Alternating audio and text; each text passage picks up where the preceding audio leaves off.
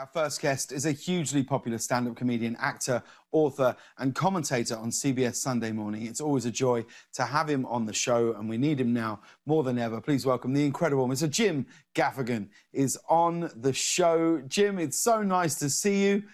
It's been a crazy day with everything going on. How are the Gaffigans holding up? Oh my gosh, it's I you know, I don't you know, we, I guess we had these naive expectations that once 2021 would start, that it would just be all uh, just, you know, gravy and like, you know, contemplating what we're going to do once the pandemic's over. But it is getting crazy and crazy. And today is just absurd. It's, it's a level of absurdity.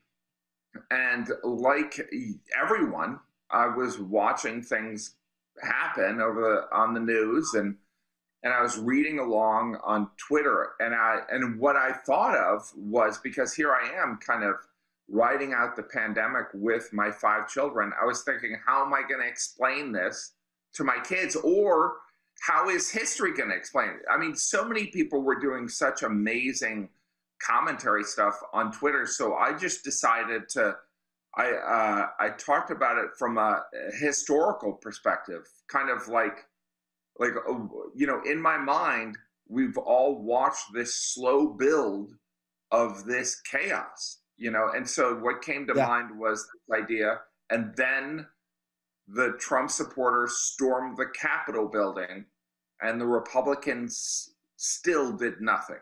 Do you know what I mean? It's yeah. just this weird thing, you know, when you think about like even when you did maybe I'm amazed, like that was a lifetime ago, James. Oh, you know oh. what I mean? It was a decade ago. It's right. The whole, but you're right. The, the, you're right that thing because I feel like there's been so many instances over the past certainly 12 months, but actually four years, really, where I've had the feeling or I've had the conversation with my wife how do we explain this to the kids? Because they'll yeah. catch the news or they'll see something going on. And I think that's quite an interesting way to do it, really, to think about it as being in the past to, and then this happened, you know, yeah. which is how you explain terrible atrocities throughout history to, to children. Yeah. That's quite an interesting way of thinking about it. Yeah. And so I did, um, I don't know if you want me to read these. It's funny because I was you know, before this, I was at dinner with my kids and I ended up reading them to them because obviously we're all kind of going through this and whatever um however we digest this or the level of catharsis we can grasp onto is what we're holding on to so it's it's uh and then this the trump supporters stormed the capitol and the republican party still did nothing and then someone commented, Then what happened, Daddy? This guy, Joe Reynolds, chief. Then what happened? Uh, and so then I just kind of played off it. Then what happened, Daddy? Well, then traitorous, cowardly Republicans prayed that people would forget about their seditious behavior. Daddy, did they? Did people forget that Republicans caved to everything Trump wanted out of fear of facing a primary challenge? Uh, well, son, that is why we tell this story. So people know the Republican Party was rebranded. They had to be. Daddy, what is rebranding? It's when a, a product, or in this case, a political party, is so toxic that they must hide who they are. Wow, those Republicans were cowardly, Daddy. Yes, son, they were. And they still are but they were also wildly ambitious. Ted Cruz, Marco Rubio, and Josh Hawley all knew better, but they were consumed with ambition. Ambition for what, Daddy? To be president? That's right, son. They wanted to take over the Republican Party when Trump went to jail, or they wanted to be to a big job on Fox News. Daddy, what was Fox News? Was that a network? Well, Fox News was a propaganda arm of the Republican Party filled with crazy men and mostly blonde women. Daddy, is that why people make dumb blonde jokes? Ha ha ha. Not all blondes are bad. I used to have blonde hair. You had hair when Trump was president? Well, a little. Um, and it goes on and on. And it's just, it's it was something that was cathartic to kind of digest this chaos because we all have known all these steps. It's so weird to witness this and see it happen and see these people that are supposed to keep him in check not do it out of what I believe is fear. And yeah. it's just, in the end, you have to have some principles. Well, what's strange is, I, I don't know about you, but it's kind of in the in the sort of maybe month leading up to the election, it, I would I'd have find myself having conversations with people, and they'd say things like, "It's going to get really ugly."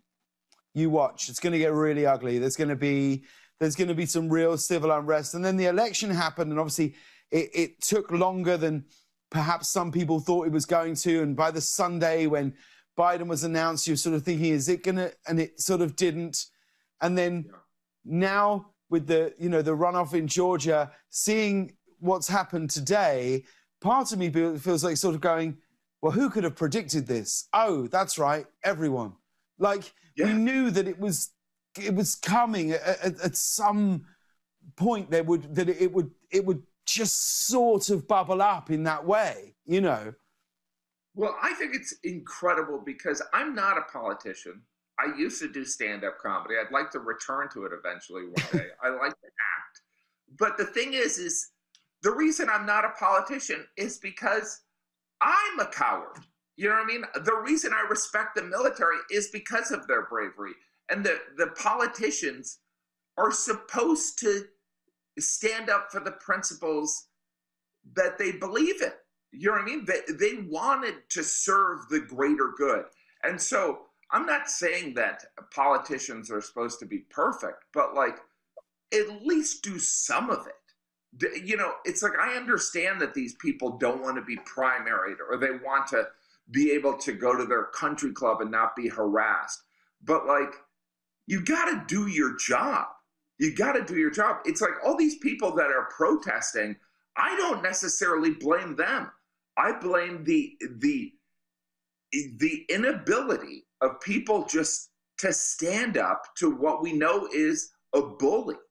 And it's it's weird as a parent and being trapped with my family for 10 months, it only heightens the responsibility. It's like our kids yeah. are watching. It's like it's not as if history is not going to reveal that that Trump was wildly corrupt, that these Republicans that that whatever that that Mitch McConnell's speech was the right thing to do, that that it was right for Romney to stand up and say what he said. It's like history's gonna show this. So you're doing it so you can enjoy your appetizer at a country club. It's like how short-sighted can you be? Anyway, that's why I'm running for senator. No, I'm not. I don't want to be a politician. It's it's weird because I feel like you and I, not only are we, you know, we're we're kind of like you're a British version of me, and I'm a, and you can you know, talent, and I don't. But there is part of me that I feel there is a certain. I don't want to, you know, like I I like observing politics. I don't want to be involved. Uh, I'm a fan of democracy. I'm a fan of people that serve, the people, the military, these political leaders that give their lives to serve their community. I have respect for that. But I don't want to do that. I want the news to be boring again. And it's yeah. it's almost as if, and I'm speaking for you, it's like we we keep getting dragged into this, and it's not kind of in my personality. It's strange. Not in any way. I mean, that, that's that's how I feel all the time. I mean, look, we're doing this show in a in my garage because of an absolute lack of leadership and clear messaging. That's what it's that's what it's down to, all of it. But you would think you would think that because it's interesting you saying that about the the Mitch McConnells, the Rubios, the Ted Cruzes. Uh, you would think that they would look at, you know, someone like Stacey Abrams and what she's managed to do and the volume of respect that is coming her way, and rightly so, and should continue to do so for decades for what she's done for you know, on the ground in ground roots politics, that you would think in a way that you would look at them, that they would look at them and go, "Oh, I should, I should be more like that. That's, yeah. I should have a, I should stand for something." Right? It's it's and it's for me, it's just maddening because I don't believe that the 74 million people that voted for Trump, I don't think they wanted this. They didn't want no. people storming the Capitol, but they were presented with a, a decision and they chose what they thought was the lesser of two evils. I disagree completely, but it's just it's just like I, you know, it, it, bothers me. It kind of like he, he during this pandemic, I've had to become this morning person where I have to wake everyone up. I don't want to do that, but that's my no. responsibility as a parent.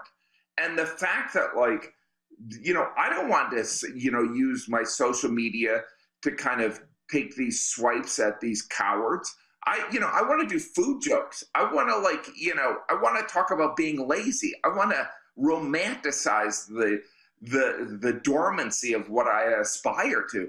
But if no one else is gonna do it, you know what I mean? I it's strange. It's you know this whole pandemic has changed me completely. I I am somebody who railed against vegetables, and then during the pandemic I grew a garden. I'm somebody who criticized and made fun of hiking, but during the pandemic, it's the most safe form of exercise outside you could do and yeah. you can do it with your kids. And and you know, it's like I did like five minutes on winter activities and how ridiculous they are. I made fun of Canadians for having outdoor festivals. And I, you know, in early December, I bought a pair of cross country skis because I'm no. a, essentially I'm dismantling my whole act. Hang on, you. Why would you buy cross country skis? Because I've been uh, waiting out this pandemic with my family and to get outside and to have some kind of some time alone. It's it's just something that is strange and there's something peaceful about it. I've only done it twice but i did it as a teenager and despised it but like i don't know. This is you know like if this pandemic goes on for another three months i'll probably be a vegetarian. I don't know what's going to happen. But the cross country skiing makes no sense to me because it feels like it's slower than walking. I feel like because the skis downhill, I understand. Someone at one point went, "Well, we need to get down there fast." Well, if we yeah. slide down on these, it'll be faster. But cross country skiing, it just seems to me to just be going. It's, like it's, it's like, exhausting. It's like it's the elliptical. That's it's the Nordic track, right? That's where cross country skiing yeah. is. And but there is something kind of peaceful and you know, during the pandemic, uh, you know, I I normally travel constantly. I'm normally going out to dinner after a show. That's my big reward, and I'm eating 10,000 calories. And so I've been kind of healthy. And so cross country skiing is a great form of exercise. I mean, of course, the snow all melted, uh, so it's you know we haven't had that much uh, opportunity for it, but it is a good form of of exercise too. But I'm losing my mind. I'm losing. But also, mind. it gets you out of the house because you, like I, you have. Well, I have three children. You've got five children. How is that with the online schooling? How's that going in your uh, house? Yeah, we're we're we're done with Christmas break, and we're doing uh, distance learning because we wanted it to be as hard as possible. And also, you know, my wife is high risk, and as she describes it, I'm a fat old guy, so I'm high risk too. And so it is so absurd. Like when New Year's Eve was happening, there was I remembered back to previous New Year's Eves where it was like, are the kids gonna make it up to midnight? And my kids don't go to bed till like one in the morning. I'm talking about my eight year old.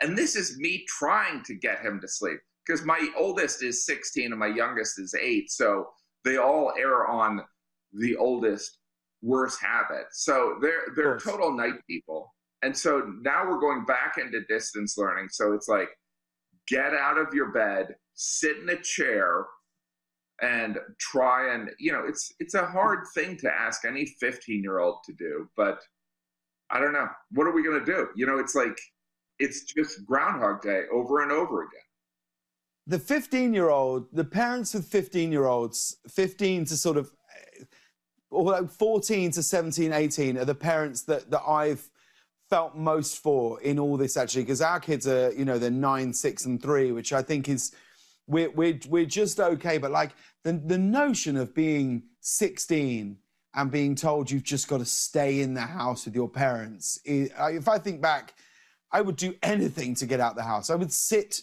on a wall outside a shop with my friends doing nothing just to be somewhere else. How's that been? Has that been, has it been okay? It's, it's really, you know, it's, it's a sacrifice. I mean, we are all about it's a balancing act because you didn't want them you don't want them to spend like prior to the pandemic you didn't want them to spend all this time just online but now that's yeah. how they socialize that's and that's the yeah. safest way to socialize. And so there's some of that but then there's also and if they're getting the grades how can you stop them? You know you want them to have some mental stability. So my 15 year my 16 year old she's like a saint. She's perfect. My 15 year old son he has the new ps5 so he should be good till like march maybe. But then i don't know it's it's amazing it's amazing anyone any relationship is surviving the pandemic prior to the pandemic when you'd hear about a couple breaking up you'd be like that's so sad and now you hear about people breaking up, and you're like, of course, of course they broke up. They're dealing with a pandemic. What else would happen? No but one managed... wants to spend this much time with anyone. But you managed to, you shot a movie during lockdown. You shot this film, Linoleum, which I'm really excited to see. It comes out later this year. What's it about? Like, who, who do you play in this movie? Oh, it is, a, it was an amazing opportunity. It's, it's a really, uh, it, I, first of all, I got to work with Rhea Seehorn, who's amazing, and there's a yeah. bunch of great actors in the film. But I play this guy who uh, is someone who always aspired to be an astronaut, and he uh, has a children's uh, science show, and he essentially uh, loses his job on this kids' science show to this guy who was an astronaut who looks exactly like him. And so I get to play both parts. And then that guy has, he actually has a uh, rocket land in his backyard. Our main character has a rocket. So he decides to build his own rocket. It's a, absurd, but it was so fun to work, but it was weird because everyone had masks. I'm sure that you know, there's these safety protocols that our yeah. unions are very kind of thorough with, where there's every couple days you're tested, but none of the performers, uh, you know, when you were acting, you didn't have to wear a mask, but otherwise, everyone was totally masked. So it was a little bit like acting, like the the entire it, would, it was like the entire crew was in a burqa. So you didn't know if people were happy or sad with you it was it, it, was incredibly uh, efficient because everyone focused on their job. There wasn't yes. even kind of you know it was strange. It was. I don't actually mind. I don't mind yeah. the mask if I'm honest because I tell you why I like the mask. You can stifle a yawn. you can just like that's my worst part of any days if I'm talking to someone and it's nothing to do with what they're saying. They could be being absolutely fascinating, but I find myself doing that sort of sort of yawn. Yeah. Now, with the mask on, I'm freely yawning but still listening. No one's offended. I actually don't. I don't mind it. What are you okay with the I, mask? My problem with masks are that I have a huge head that uh, is not mask friendly. So right. it's it's very similar. Like this is this is I I don't know what size this is, like three XL, and this barely covers it. I usually most masks my beard is down here, and it's always kind of coming down. It's because when I was, you know, I played American football in middle school and high school, and in middle school, they had to go to the high school to get me a helmet that fit Wow. because my head was so big, uh, metaphorically and actually. So uh, it was. Uh, it's just a glamorous experience with this huge head. That uh, you know, like even like knit caps. Like when you get a a, a wrap party, uh, they'll give you sometimes a knit cap. Mine doesn't fit.